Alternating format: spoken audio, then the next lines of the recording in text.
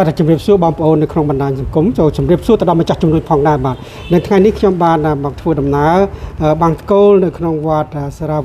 ដេជោសារ៉ាវ័នហើយអឺបានជួបនឹងលោកតាអាចារ្យអាចារ្យហើយមានការចាប់អារម្មណ៍ហើយក៏មានថវិកាពីបងប្អូនខ្មែរយើងនៅអឺប្រទេសស្វីសហើយក៏បងស្រីគាត់ថាបើមានការចុះបន់ហើយគាត់នឹងជួយទៅដល់ចាស់ចាស់ៗដែលអឺ ជាលោកតាអាចារ្យហើយខ្ញុំនឹងជួបគាត់តើជីវិតរបស់លោកតាអាចារ្យទាំង3តើលោកតានៅនៅនៅណាហើយមានកូនចៅប្រមាណណាប្រមាណណាអញ្ចឹងណាបាទជាដំបូងហ្នឹងខ្ញុំជំរាបសួរបាទជំរាបសួរលោកអ៊ំអ៊ំអ៊ំជំរាបសួរអ៊ំណាបាទហើយអើយហើយសប្ថ្ងៃនេះអសុខសប្បាយទេអ៊ំសប្បាយសុខសប្បាយហ៎បាទឡើយជាដំបងសូមសួរអ៊ំប្រុសខាងនោះខាងខាងនោះមុនណាខាងស្ដាំដៃមុនហើយអ៊ំប្រុសមានឈ្មោះអីទៅអ៊ំឈ្ម ឡុងឈៀនហើយសប្តាហ៍ថ្ងៃនេះអាយុប្រហែលអ៊ំយុ75អាយុ75ឆ្នាំហើយហើយអ៊ំមានសុខកំណត់នៅណាអ៊ំនៅកំពង់ចាមនៅកំពង់ចាមដាក់ដៃចុះចុះអ៊ំណាដើម្បីទៅចែកគ្នាបានស៊ីជម្រៅបន្តិចហើយសប្តាហ៍ថ្ងៃនេះអ៊ំមានកូនចៅប្រហែលអ្នកដែរអ៊ំកូនចៅ4នាក់4នាក់ហើយកូនកូនធំធំអស់ហើយមែនទេអ៊ំរៀបការអស់ហើយរៀបការអស់ហើយសប្តាហ៍ថ្ងៃនេះអ៊ំអឺនៅផ្ទះខ្លួនឯងនៅផ្ទះជួលគេអ៊ំខ្ញុំនៅវត្តនេះទេអូអ៊ំនៅវត្តទេ ណាពិតជាប្រពៃណាស់បានជួបលោកតាអាចារ្យហើយរាល់ថ្ងៃនេះអ៊ំនៅម្នាក់ឯងឬក៏មានយាយដែរនឹងមានយាយដែរហើយលោកយាយនៅណាទៅអ៊ំលោកយាយនៅសាលានៅសាលាអញ្ចឹងបានសេចក្តីថានៅក្នុងវត្តមូលតែម្ដងបាទបាទអូល្អមែនតើអញ្ចឹងអឺកូនចៅនៅណាវិញតើឥឡូវហ្នឹងកូនចៅនៅស្រុកនៅស្រុកណាស្រុកណាទៅនៅស្រុកប្រធាយស្រុកប្រទេសខេត្តកំពង់ចាមមែនទេបាទបាទហើយគេមានប្តីប្រពន្ធអស់ហើយមែនទេអ៊ំបាទ ហើយ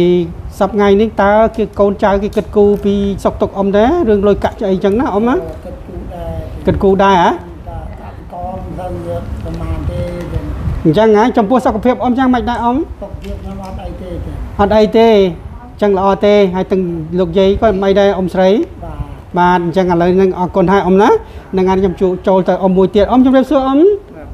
បាទឆ្នាំនេះអ៊ំអាយុប្រហែលហើយអ៊ំខ្ញុំអាយុ60 អាយុ60ឆ្នាំហើយមើលទៅរៀងសំសួនណាស់ហើយសប្តាហ៍ថ្ងៃអ៊ំមានសុខកំណត់នៅណាពីមុនមកណាអ៊ំណានៅជាមួយគ្នានោះនៅសុកបធាយអញ្ចឹងហ៎បាទបាទអូអ្នកបធាយហើយអញ្ចឹងមិនជាឆ្ងាយពីភ្នំពេញបានទេហើយសប្តាហ៍ថ្ងៃនេះអ៊ំជីវភាពយ៉ាងម៉េចដែរក្រុមគ្រួសារអញ្ចឹងណាមានកូនចៅប្រហែលអ្នកទៅមានកូនចៅ3នាក់កូនចៅ3អ្នកប្រុសប្រហែលស្រីប្រហែលបាទប្រុស2ស្រី1ប្រុស2ស្រី1គេធំធំអស់ហើយមែនទេបាទហើយគេមានប្តីប្រពន្ធបែកអស់ហើយមែនទេអ៊ំបាទ ហើយហេតុអ្វីបានជាអ៊ំជ្រើសរើសយកមុខជាជាជាអាចារ្យវិញអ៊ំ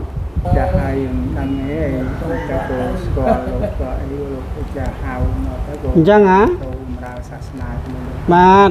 ហើយសប្តាហ៍ថ្ងៃនេះអ៊ំមានការស្នាក់នៅនៅណាដែរអ៊ំខ្ញុំនៅកត់40នៅកត់40នេះឯងហើយអអ៊ំស្រីគាត់នៅនឹងណាអ៊ំអត់ទេគាត់នៅផ្ទះគាត់នៅផ្ទះមើលកូនមើលចៅអញ្ចឹងហ៎បាទ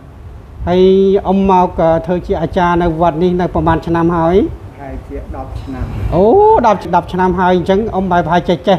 អឺពោច្រើនហើយតាមមើលទៅណា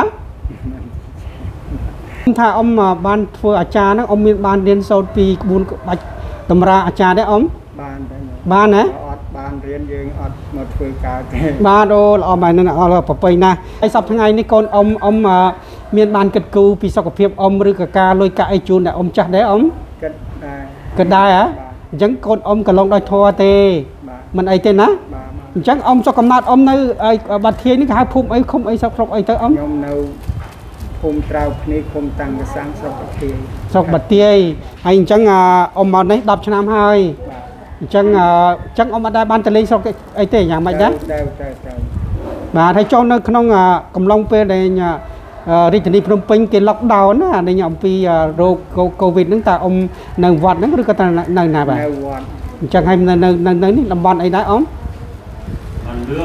បនលឿងតំបន់លឿងហ៎អឺតំបន់លឿងចឹងអាចចេញចូលបានអញ្ចឹងណាអញ្ចឹងឥឡូវនេះខ្ញុំក៏អឺចង់សួរអ៊ំតែប៉ុណ្្នឹងទេហើយខ្ញុំចង់សួរតែអ៊ំប្រុសមួយទៀតដែលគាត់នៅអង្គុយក្បែរបាទជំរាបសួរអ៊ំប្រុសបាទអើយសម្បល់ខ្មៅស្អាមកូនខ្មែរគាត់អឺកាត់អឺខ្មែរសុទ្ធតែម្ដងណា បាទហើយសប្តាហ៍ថ្ងៃនេះអ៊ំអាយុប្រហែលហើយអ៊ំអាយុ63អាយុ63ឆ្នាំហើយហើយមើលសំសួនណាស់ហើយអ៊ំអឺមានស្រុកកំណត់នៅណាអ៊ំនៅស្ទងពងធំអូស្រុកស្ទងខេត្តកំពង់ធំបានជួបមួយទៀតហើយនេះខ្ញុំធ្លាប់ទៅលេងនៅស្រុកស្ទងដែរណាខ្ញុំធ្លាប់ជួយនៅអឺពលរដ្ឋខ្មែរនៅស្ទងដែរនៅស្ទងហើយអញ្ចឹងហើយអឺអឺចង់អមសួរអមទៅចាកូនចៅប្រហែលអ្នកអីសុខកូនចាំ3នាក់អូច្រើនណាស់8អ្នកប្រុសប្រហែលស្រីម៉ានដែរអមស្រី6អប្រុស6 ប្រុស6បាទហើយស្រី2ស្រី2អញ្ចឹងឥឡូវនេះគេធំធំអស់ហើយអមក៏កាអស់កាអស់ហើយអញ្ចឹងហើយបានថាថាបានអាចយើងអាចមកធ្វើអាចារ្យបានអញ្ចឹងណាអមណាបាទហើយចំពោះលោកយាយមិនដែរអ៊ំស្រីលោកយាយមកដែរនៅវត្តរាមវិញដែរនិងសវត្តរាវ័ននឹងដែរបាទហើយចង់សួរអ៊ំមិនថាមិនចាំមូលមិត្តអ่าមូលចិត្តមិនបានមកធ្វើអឺអាចារ្យផងហើយមានលោកយាយមកជាមួយដែរគាត់ធ្វើជាយាយជីមែនទេកូនកើតនៅបួ សសិក្សានេះបាយ4 10ឆ្នាំហើយបាទក៏លោកឲ្យមកលេងក៏អ្នកកម្មការគេរាប់អានឲ្យនៅប៉ុណ្ណឹងទៅបាទហើយចុះចំពោះអ่าការអ่าធ្វើជាអាចារ្យហ្នឹងការរស់នៅយ៉ាងម៉េចដែរអ៊ំរស់នៅថ្ងៃមានអីធម្មតាធម្មតាធម្មតាទេហើយការការតំណាក់តំណងប្រស្រ័យតាក់ទងជាមួយកូនកូនហ្នឹងយ៉ាងម៉េចដែរអ៊ំតងកូនកូនសប្ងៃគឺ វិថាកូនល្អល្អច្រើនដឹងម៉ែដឹងអីវិញអញ្ចឹងហ៎ប្រកបដោយធម៌បាទបាទក៏ដល់ធម៌ហេបានចៅប្រហែលហើយចឹងអូយចាំពី10អីក៏ចៅច្រើនណាស់2ដល់10ណាបាទហើយអញ្ចឹងឥឡូវចង់សួរអ៊ំបន្តទៀតហើយហើយចង់ឥឡូវអ៊ំអ่าគិតថាទៅធ្វើអាចារ្យរហូតតែមែនទេបាទវាការងារវាលះបង់ឲ្យស្រូវស្រែឲ្យកូនចៅធ្វើហើយធ្វើចាស់ល្បងអញ្ចឹងហ៎ចាស់បាទ ហើយការអ่าការអីសុខភាពអ៊ំយ៉ាងម៉េចដែរការរស់នៅអ៊ំស្រីវ៉ាន់ហ្នឹងយ៉ាងម៉េចដែរសុខភាពដូចគ្នាបាទសុខចម្រើនដូចគ្នាតាមការពិតទៅបានខ្ញុំសួរពីអំពីអំពីសុខភាពហ្នឹងគឺថាអ្វីដែលកើតឡើងតើតែសុខភាពយើងល្អបានយើងអាចធ្វើទៅរួចបាទសុខភាពធំណាស់អ៊ំណាហ្នឹងហើយបាទហើយពេលដែលយើងសុខភាពយើងបានរីករាយអឺដេញល្អអញ្ចឹងយើងអាចធ្វើកិច្ចការអ្វីក៏បានជោគជ័យដែរបាទបាទបាទហើយអញ្ចឹងឥឡូវអ៊ំអឺមកភ្នំពេញធ្វើជាអាចារ្យហ្នឹងប្រហែលឆ្នាំហើយអ៊ំ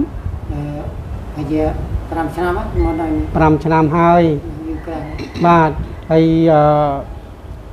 មកអ៊ំមាននឹករលឹកដល់ស្រុកទេតើបើមកភ្នំពេញទេចង់តែប៉ុន្តែថាទៅផ្ទះដល់លក្ខកូវីដវប់ទៅទៅអត់រួចបាទនៅនេះឡើយអញ្ចឹងកូនកូនយើងអត់មានពិបាកថាចិញ្ចឹមកូនទៀតទេមែនទេអ៊ំគេមានមុខការងារអស់ហើយការងារគេមានបោអស់ត្រែភ្លឺចែក កូនចៅអស់អូប្រពៃណាស់អញ្ចឹងណាហើយបានកូនចិញ្ចឹមចំការឬក៏មុខងារអីផ្សេងផ្សេងៗគ្រប់គ្នាអស់ហើយអញ្ចឹងណាអញ្ចឹងឥឡូវនេះខ្ញុំអឺនឹងអឺទៅចែកជាមួយអ៊ំអស់ហើយអញ្ចឹងខ្ញុំចង់មានថវិកាខ្លះពីសប្បុរសជនខ្មែរយើងដែលនៅឯនេះសមុទ្រហ្នឹងគឺបងស្រីបូរ៉ាសួយហើយបងស្រីអឺគឺជាសប្បុរសជនខ្មែរយើងដែលបានបរិច្ចាគថវិកាតាមយើងខ្ញុំហ្នឹងជួយទៅពលរដ្ឋខ្មែរជាច្រើនឆ្នាំមកហើយនៅ មិនថាខ្មែរនៅទីក្រុងឬជនបទទេឲ្យតែមានជីវភាពក្រីក្រក៏ដូចជាអាចារ្យក៏ដូចជាលោកយាយជីហើយនឹងអឺអឺមនុស្សចាស់ជរាស្ត្រីមេម៉ាយកម្មាកំព្រាអញ្ចឹងគាត់ជួយអឺសពបែបសពយ៉ាងគាត់បានធ្វើបន់ច្រើនដល់ពលរដ្ឋខ្មែរយើងហើយទន្ទឹមនឹងនេះខ្ញុំមកដល់ទីវត្តអារាមនេះគឺថាឃើញលោកអាចារ្យអាចារ្យនឹងមានការអឺខ្ញុំជឿថាលោកអាចារ្យមិនមែនជាមានមានណាស់ណាទេណាមែនទេ បាទហើយបានមកធ្វើអាចារ្យនេះគឺថាដើម្បីសាំងតាំងតាំងសិលតាំងអឺតាមសាសនាពុទ្ធអញ្ចឹងណាដើម្បីតម្រាយតម្រង់កូនចៅក្រោយក្រោយៗហ្នឹងឲ្យឲ្យឲ្យបរប្រណិបត្តិតាមបាទឥឡូវនេះអឺបងស្រីបូរ៉ាហ្នឹងក៏គាត់មានអឺថាវិការខ្លះជូនទៅដល់អ៊ំណាចំនួនម្នាក់អឺ80000ស្មើនឹង20ដុល្លារហើយគាត់សូមឧទ្ទិសកុសលដល់ផលបុណ្យជូនទៅញាតិអឺសន្តានទាំង7មានទាំងលោកឪពុកគាត់ឈ្មោះអឺមិនលឹក និងអ្នកម្ដាយគាត់ឈ្មោះប៉ោះបងប្រុសឈ្មោះថននិងប្អូនប្រុសឈ្មោះសវັດរួមជាមួយនឹងញាតិទាំង7សន្តានរបស់បងហើយដែលបងបានធ្វើបនបាំងតកលមុននេះបន្តិចនេះហើយអញ្ចឹងសូមជូនផលបនទៅដល់បងស្រី ដែលបងបានមានចទាជាឆ្លាក្នុងវិស័យពុទ្ធសាសនានេះធ្វើបនធ្វើទានមិនត្រឹមតែ ពុទ្ធសាសនាសាសនាទេថែមទាំងជួយទៅដល់ពលរដ្ឋខ្មែរដែលមានជីវភាពក្រីក្រទោះជាបងស្រីនៅប្រទេសស្វីសមានសម្បូរយ៉ាងណាក៏ដោយក៏បងនឹកចិត្តប្រពៃដល់គិតដល់ប្រជាពលរដ្ឋខ្មែរដែលនៅប្រទេសកម្ពុជាដែលមានជីវភាពក្រីក្រនេះអញ្ចឹងហើយខ្ញុំនឹងអឺជូនទៅអឺអ៊ំអ៊ំណាចំនួនម្នាក់20ដុល្លារដើម្បីឲ្យយកទៅចាត់ចែងតាមការគួរណាបាទចាំបាទ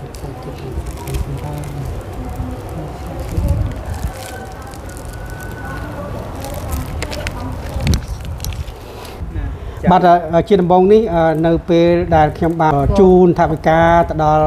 អអឺអ៊ំអ៊ំម្ចាស់ហើយហើយខ្ញុំចង់ដឹងថាអ៊ំអឺចេះពីវិស័យពុទ្ធសាសនាហ្នឹងតើអ៊ំមានអ្វីសម្រាប់អឺអឺជូនអឺផលបុណ្យទៅដល់ក្រុមគ្រួសារបងស្រីបូរ៉ាសួយហើយនឹងអឺអឺញាតិមិត្តអឺបំពេសន្តានរបស់គាត់បាទសូមជួយអ៊ំណាមានអីដែរអ៊ំណាសូមអនុមោទនីទាំងខ្ញុំ បាទក៏សូមថ្លែងអំណរអរគុណដល់ម្ចាស់ទានណាដែលលោកមានសុភាជ្រះថ្លាបានបូជានៅបច្ច័យ4ដល់ខ្ញុំបាទបូជាអាចារ្យទាំងអស់គ្នាក្នុងឱកាសពេលនេះដូច្នេះខ្ញុំបាទក៏សូមបួងសួងរំលឹកនឹកដល់ដៃជះគុណព្រះរតនត្រ័យវត្ថុស័ក្តិសិទ្ធិដែលលោកមានរិទ្ធមានអានុភាពមានដៃជះសូមលោកជួយតាមបីបាច់ថែរក្សា ការពារលោកម្ចាស់ទានទាំងអស់គ្នានោះសូមឲ្យលោកបានសេចក្តីសុខនិងសេចក្តីចម្រើនហើយម្យ៉ាងទៀតខ្ញុំបាទក៏សូម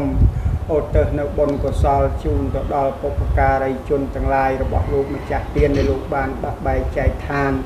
ទៅកាន់លោកខាងមុខទាំងអំបាលមានសូមឲ្យវិញ្ញាណក្ខន្ធរបស់ដូនតាម៉ាកុងទាំងអស់នោះសូមលោកអនុមោទនាត្រេកអររីករាយនៅបុណ្យកុសលដែលកូនចៅ ហើយបានបូជាទានដល់យើងខ្ញុំទាំងអស់គ្នានេះសូមឲ្យបានសម្រេចបុណ្យកុសលដល់ដូនតាម៉ាកងទាំងអស់នោះកុំបីមានខ្វះកន្លះឡើយហើយម្យ៉ាងទៀតដោយអំណាចដៃជះនៃគុណព្រះរតនត្រ័យទាំង3នឹងសូមសេរីសួស្តីចូលកើតមានដល់លោកម្ចាស់ទានទាំងអស់គ្នាលោកប្រាថ្នា យ៉ាងណាសូមឲ្យបុណ្យកុសលទាំងអស់នេះនឹងជួយលោកម្ចាស់ទានឲ្យបានសម្រេចដោយសេចក្តីលោកប្រាថ្នាសូមអនុមោទនាអាសាធុសាធុបាអទសពាំងសុមង្គលាំងសុសូមមង្គលគឺសេចក្តីចម្រើនដល់ល្អគ្រប់យ៉ាងចូលមានឋានៈរ ខន្តសាបទេវតាទេវតាទាំងពួងទាំងឡាយចូលរសានៅណាសាពពុទ្ធានុភាវេណៈដោយអានុភាពនៃព្រះពន្ធគ្រប់ព្រះអង្គសាពធម្មមា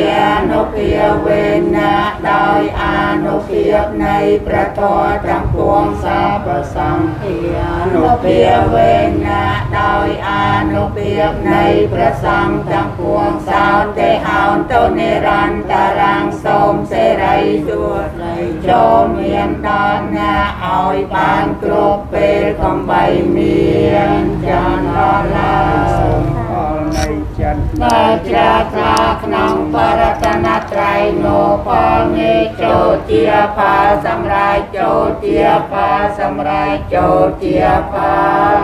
សម្រាប់ទេវាកន្ធ្វានិនិវេតយំសាពេលោកាមេយេសាតាជីវន្តាហារហេតុកាមនោញ្ញំភោចនាងសាពេលពធមមចេតសា ទេ